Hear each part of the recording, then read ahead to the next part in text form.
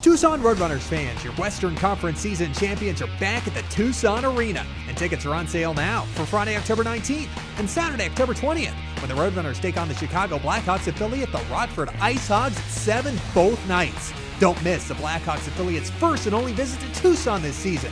For tickets and more information, visit TucsonRoadrunners.com, in person at the Tucson Arena box office, or call 866 774 6253. Tucson Roadrunners Hockey. It's goal time.